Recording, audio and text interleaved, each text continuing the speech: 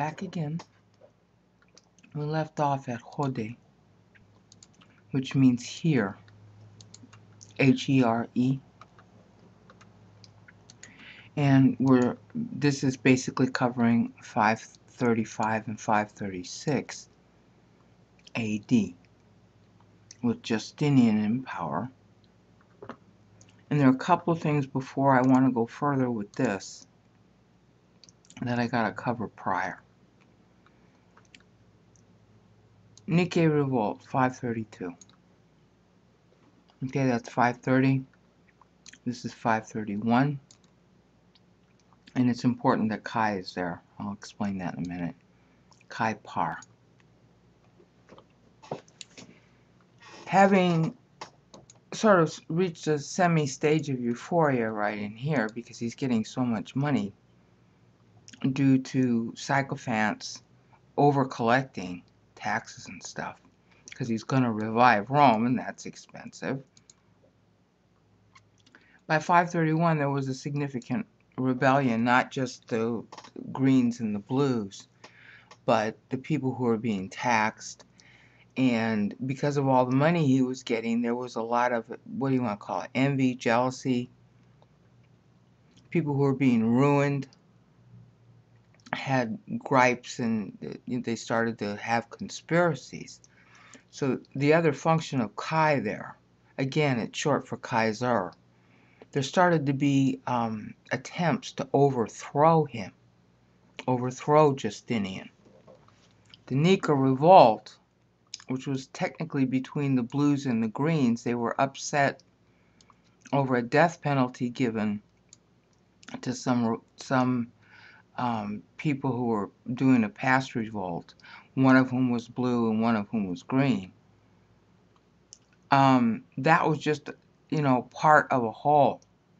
The whole was is that the people of Constantinople and the environs were upset with all the taxation and upset with the reversion to the Council of Chalcedon even though most of the people in Constantinople were Chalcedonian.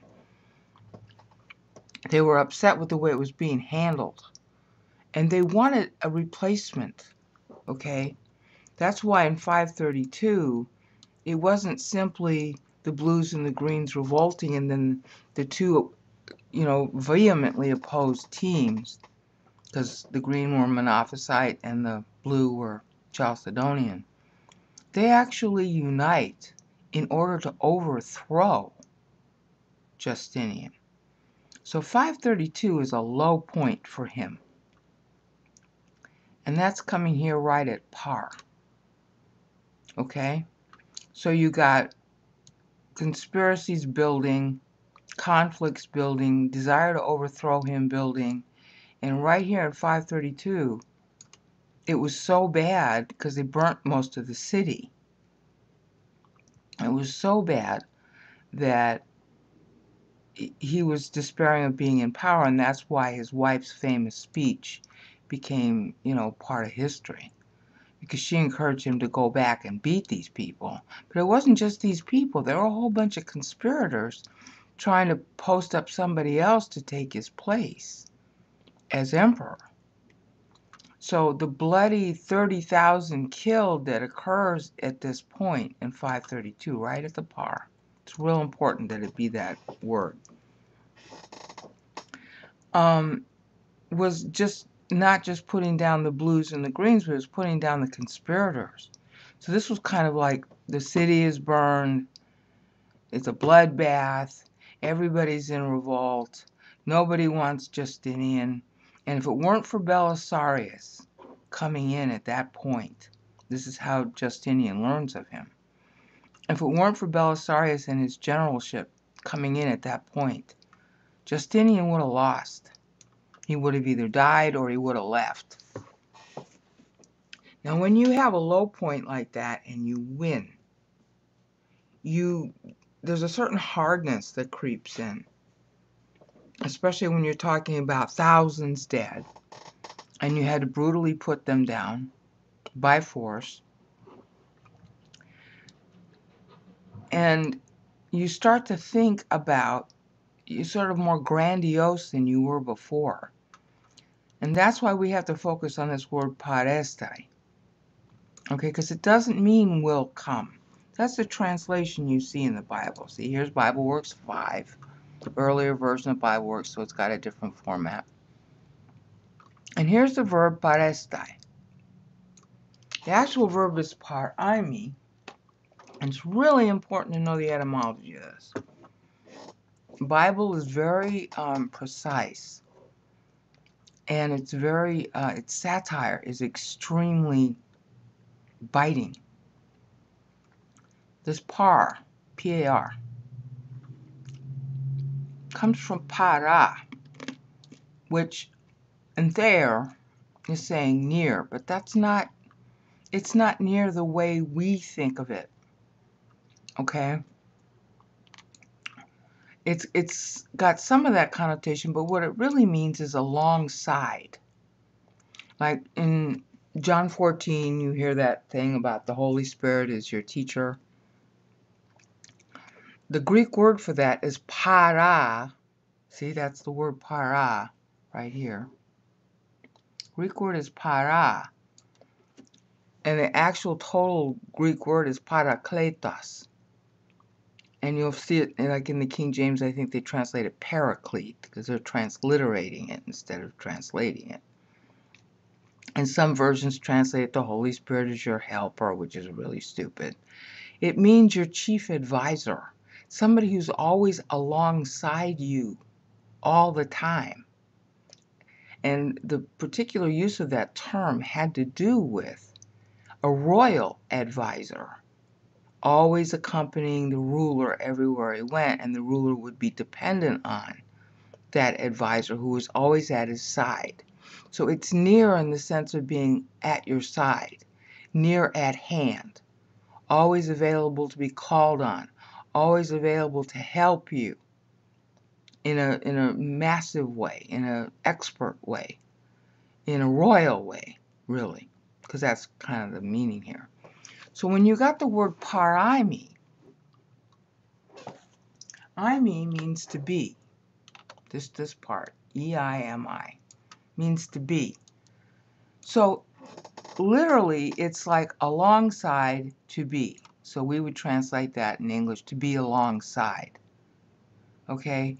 It ends up being sort of an idea of, well, he's here, present, alongside you, by you. Okay? So that's why they're saying near and by, but you have to know what kind of, because in English, near and by has all kinds of different meanings. It's talking about a person who you're depending on, who's coming. Okay? So here, the beast, because it was, and it not is, so we trans we reverse that in English, and is not, and this is during the time of the, the, the attempted overthrow, alongside will be. Okay? It will be next. It's coming. It's at hand. It's in your hand. It's nearby. It will be your savior, so to speak. It's got that kind of meaning. It's not to come. It's a different Greek word for to come. The word for come is erchomai. But that's not the word that, that John is using here, or the angel's using. It's it's to will be alongside you. Idea being to help you. Yeah, and the guy alongside to help him was Belisarius. You see the, the wit here? The guy who saves Justinian and essentially Rome from chaos is the para. That means Belisarius and he will be alongside Justinian. He will be the most loyal guy Justinian ever has. And Justinian's going to spit on him, but not right now. So, as a result of Belisarius being alongside him, Justinian gets really confident about the future. He gets really confident about his power, his ability, his everything, because Belisarius is really loyal. Really, really loyal. Okay, and Procopius was the adjutant, the adjutant to Belisarius. Okay, so Procopius, who writes all that nasty stuff, the secret history, is writing it from like inside because he's he's right alongside Belisarius, and Belisarius is right alongside Justinian. Okay, so Justinian starts to think of the beast, the future reviving of Rome that he wants so badly that he's going to be successful at it. It's next. It's at hand because I got Belisarius. He's next. He's at hand. I'm going to win. I beat these Nika people. I beat the blues and the greens and I beat all these people who wanted to take away my crown. And 30,000 of them are dead now and I'm the victor and I'm going to win back Rome. That's the psychology that's what's so important about this word. It tells you the psychology of our prototype Antichrist, who is a real person. Now, if you were a ruler and you almost died or you almost lost your head, and some guy comes along with you and he rescues you, as it were, but you're the emperor, on the one hand, you should be grateful. And on the other hand, you're going to start to get a really big head. All right, and that's why this becomes important. That's 535, 536. Okay, and that brings us back to our timeline, which is very incomplete, but I'm going to try to fill it out. Okay, the next two years, that's the Esti right here. See, this is 532, 533, 534, will be. So Belisarius will be. See the wit here of the Bible? How precise it is? Belisarius will be winning back Rome for Justinian. It's Belisarius who does this. Justinian, he doesn't go. He's not like the emperors of old that goes with his troops. His general does this. And he does it really well. And Justinian's sitting there in Constantinople congratulating himself. He's getting a really big head about who he is and his role in the world. Now, you've seen Christians do this, so that's why I'm bringing it up again. Because this is part of the problem Council of Chalcedon, oh, we're holy if we believe a certain definition of God, and everybody else who doesn't believe that definition, you know, they're, they're, see, Council of Chalcedon, that, you click on that link and you'll read all about it. And anybody who doesn't believe in that definition of God, well, they're bad. Well, he starts to think of himself sort of like God here. Because will be that's, yeah, that's Belisarius who came in alongside and will be conquering Africa, the breadbasket of Western and Eastern Rome. Because that, that included, you know, the, the borderline with Egypt and all that. It's the coastline mostly. But what we call Libya today was a source of olive oil and all kinds of food and Constantinople was constantly having problem with food. Okay, and they were going to have more problem with food because of the taxing that they did, and they're going to have even more problem with food because the the part that they were getting the food from were Monophysite, and if you're going to go Council of Chalcedon all holy as if your definition was right and everybody else is a demon, well then people aren't going to grow food for you. Okay? They aren't. So as far as as far as this period goes, this is what gives Justinian a big head because of the winning in Africa. It's like Donald Trump when he started winning a couple of things. Oh, I'm the greatest thing since white bread. Nobody can beat me. Everything's great. And he'll even go to the trouble of buying crowds. He's insatiable about that. Well, this is what happened to, to Justinian. Okay? Except Justinian was also really bright and he had a lot of ideas. He meant well, but at the same time, he's overcome by his own success. All right? So by the time you get here, you know, this is when this is when Africa gets conquered by the time of Este. Will be. Will come alongside. Will be. So he's thinking, ah, I'm winning Rome, I'm winning Rome.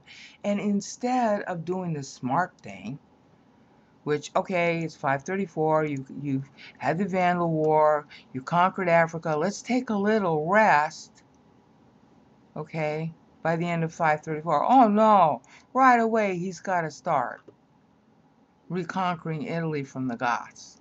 He doesn't know the limits. He's already taxed his people.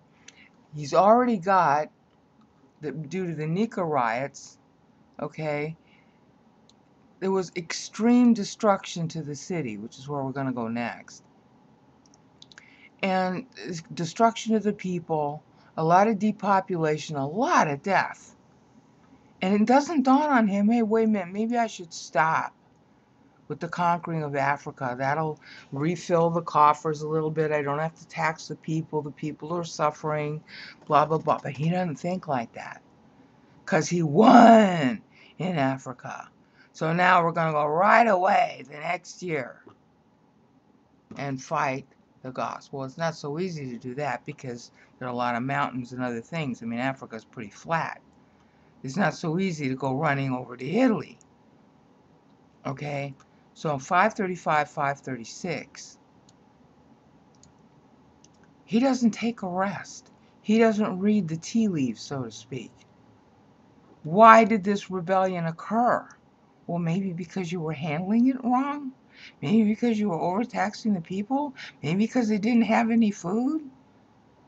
He doesn't. He doesn't think about what went wrong. Oh yeah, fine. I go go to Africa and I'm bringing in food from Africa now, but you're bringing it at the expense of the African people.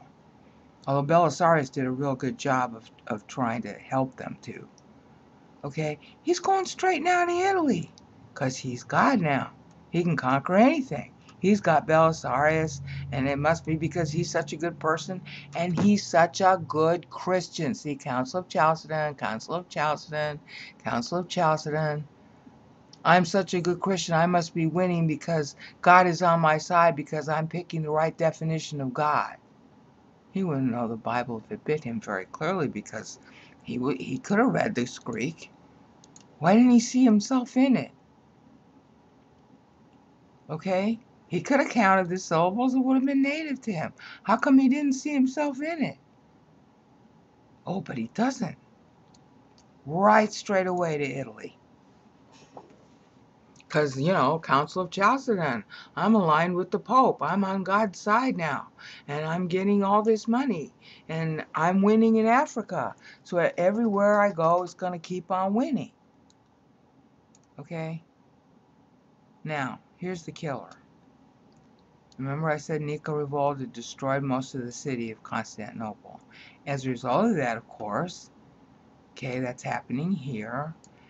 He sends Belisarius off to Africa at the very time he's got to rebuild his own city where he lives. And does it dawn on him, hi, I've already, that the whole reason this happened in the first place was because I overtaxed people and they don't have any money? No, it doesn't dawn on him.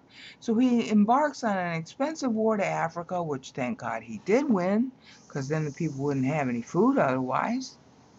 But at the same time, he's, it's expensive to field an army, especially in those days. I'm going to have to come back because the landscaper's there.